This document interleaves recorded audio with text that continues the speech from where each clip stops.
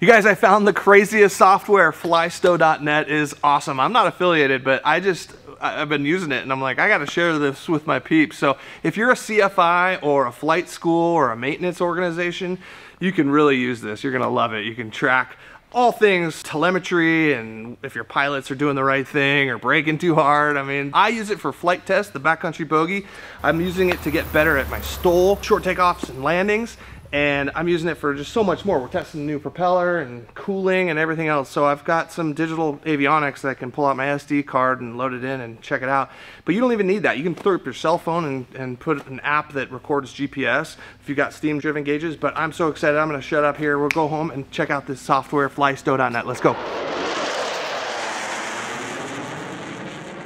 Hey, it's Steve. Welcome back to Cleared Direct. I just happen to be a Garmin guy, so you just grab your SD card from your Garmin Avionics or Dynon. And Dynon, you can actually crank up the recording rate and record at uh, a lot more than just one hertz. Unfortunately, the, the Garmin system is just one hertz, but it's it's good enough for everything that I need to do. So we jump into flysto.net software. You create an account. Of course, I've already got an account with a bunch of my flights already loaded and this is where it, it takes you. But i don't want to jump in quite yet here. I want to show you some of the analysis that it can do. First off this is when i went to oshkosh and then bebopping around the backcountry in the pacific northwest. I don't have all my flights in there. I wish i did because if i did then it can give my true averages of the entire life of this aircraft. Some, some highlights. These are kind of your records your highest ground speed highest true airspeed highest average ground speed, number of landings, airports, highest elevation airport, highest density altitude takeoff. Look at that. Okay, you can add in your crew, your family members if they're just passengers. You can have multiple aircraft, and this is where you set up kind of the. I'm an airline guy, so the FOQA data. So flight ops uh, quality assurance is what the airline uses. It's just telemetry off of the the airliner that gets beamed to the company, and they've got professionals that sift through that and bing, a flag will come off if you have an unstable approach and landed out of that unstable approach. You might get a phone call. Whenever you set up your account, you set up your aircraft, it'll have some defaults for what type of aircraft it is. But you can actually go through and just set all these flags that once you download all your, your data to the to the cloud here, it'll uh, it'll show you all these these flags that you've set up. So acceleration, if you've pulled too many G's or you know your CHTs were too hot for too long. Um, you have too rapid of a descent rate, all that stuff. So Big Brother could be watching. And speaking of which, it could be good for flight organizations, FBOs that rent their aircraft, uh, just to kind of monitor what everybody's doing. Could potentially be good for maintenance organizations as well.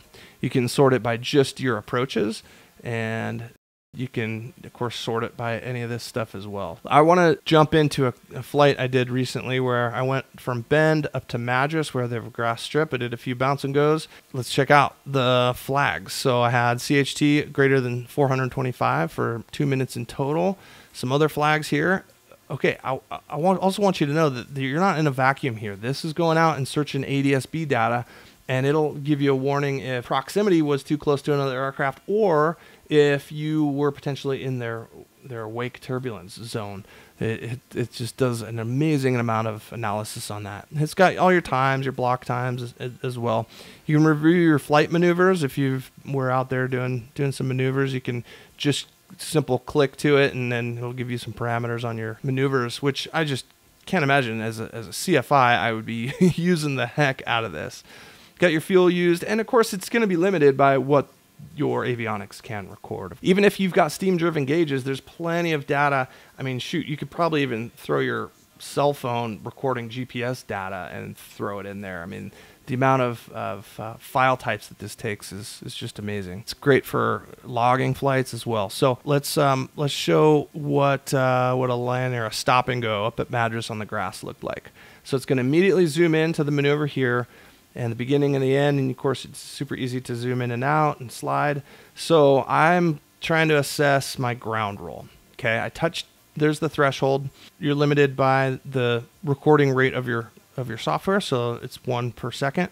So I was somewhere around 2450 or so crossing the threshold, and then on the on the grass there at 2440, so about 10 feet over the threshold and then I came to a so let's see that's 140 feet across from the threshold, came to a stop there and uh, just under 500 feet. So uh, about 360 foot ground roll or so. And then to verify that, here's your speed. Let's just better yet use ground speed and showed, yep, I had no kidding came to a stop and it was smart enough to analyze uh, that that was my stop with those dash lines right there. Okay, you've also got AOA. If if uh, if you do have that equipped on your aircraft, you got your vertical speed, your pitch, your bank, your power, and then your slip skid. There's some other landings I've seen where you'll, you'll have the option of seeing how far off the center line you you were, so you can you can uh, debrief yourself or somebody else on that. I think this is wind data over here, so oh, you can even see what the wind is doing. Wind shear. This is just on this maneuver. So if you're working on STOL, that's just fantastic information for uh, for you to have there. And then let's take a look at what a takeoff looks like. If you're doing a test of of how far it takes you to get over a 50 foot obstacle, there's a 50 foot denotation right there. And so yeah, you can uh, really fine tune your skills and your climb rate, see if you're at VX or VY, whatever you're trying to do. Look how powerful that is. All right, let's take a look at some more, more um, buttons around this thing so you can turn on street view, topographic view. If you're flying in the backcountry, that would be super interesting as well. And then here's where you, the uh, ADSB traffic is selectable. And then here, let's go ahead and put it in play. You can even play this back. And then, of course, you've got varying uh, varying playback speeds that you can select. We're just going to do it at one time speed and see if we can find any sort of other traffic out there. Here's one. All right, Cessna 152. There's his N number, 49194, and uh, it shows your distance away. So it could give you flags of again proximity to other aircraft, or if you're flying through the wake turbulence. That's how it gets that data. So I don't know if this is scary to some people that Big Brother's watching, but there's a little bit of turbulence right there. I think my air, aircraft reported that. And then weather, you've got uh, weather to be able to pull, and then uh, weather areas, and then airspace, and then some more details right there. Okay. Okay, you can set up your mouse wheel action. You can collapse that and then you can automatically zoom to the maneuver that you're that you've got selected. Okay, up here we're just obviously in a 2D map. Guys, you have to pay for flight for this feature right here. Check this out. Isn't that isn't that amazing? So let's do the entire flight, and you can zoom in. There's my landing. There's my pattern. Flew over the top of the field. Uh, did a teardrop to a 45, and then the downwind. And you can just assess all or debrief if you're in a CFI. Uh, debrief them, and then some other views you can get are just the chart view. Of course, there's different things that are selectable there. And then you've got the cockpit view. So a virtual HUD, you'll see it bouncing around every one second because my avionics record at a one hertz rate, but AOA is recorded there. There's the wind, my true airspeed, my ground speed, my indicated airspeed, um, altitude, vertical speed. I mean, even my selected altimeter uh, altitude for my on my MCP.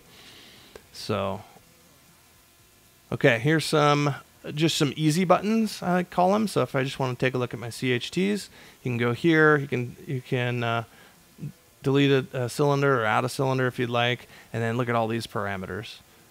Okay, so oil pressure. There's my oil pressure, and then you can compare it to my CHTs. So what my oil pressure was doing versus my CHTs, or or oil pressure compared to um, your airspeed and then that's where you select indicated, true, or ground speed. All right, so you can really unlock a ton of amazing data with this tool, and it was just too good for me to uh, to just keep to myself. So there you go. I hope you guys enjoyed that. If you enjoy this content or want uh, to join me on some backcountry adventures, make sure you subscribe. And if I've earned it, give it this uh, video a like. Appreciate it. My name's Steve. You're cleared direct.